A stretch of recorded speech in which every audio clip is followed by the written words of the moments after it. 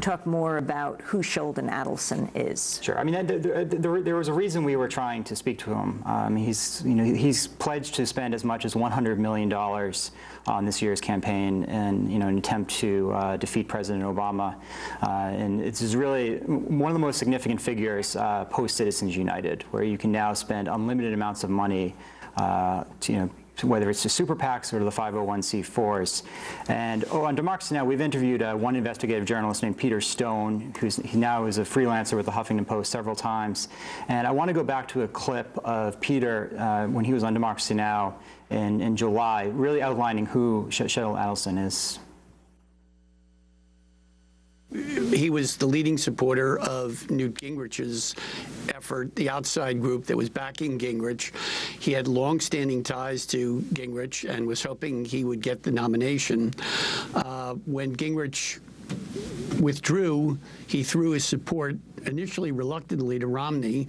He felt that Romney was not as decisive as Gingrich and might not be quite as good on certain issues of particular importance to Adelson.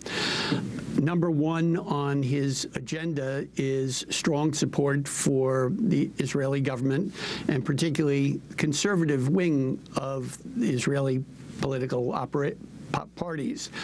Uh, he has close ties to Netanyahu, and he is generally considered a hawk on uh, Middle East issues.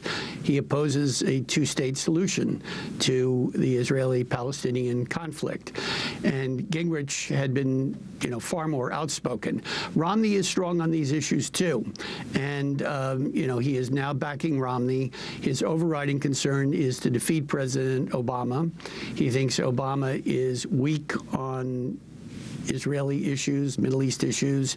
He also has publicly castigated him for his economic policies.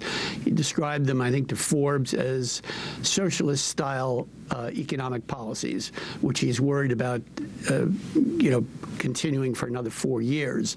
So he's dedicated to defeating um, Obama. He's also throwing a lot of money, tens of millions of dollars, into other groups, outside groups, that are playing big in trying to help Republicans win the Senate and keep the House. Um, I reported in Huffington Post a few weeks ago that he has given estimated $70 million or committed estimated $70 million thus far this cycle. We know about 30 million of that is public at this stage.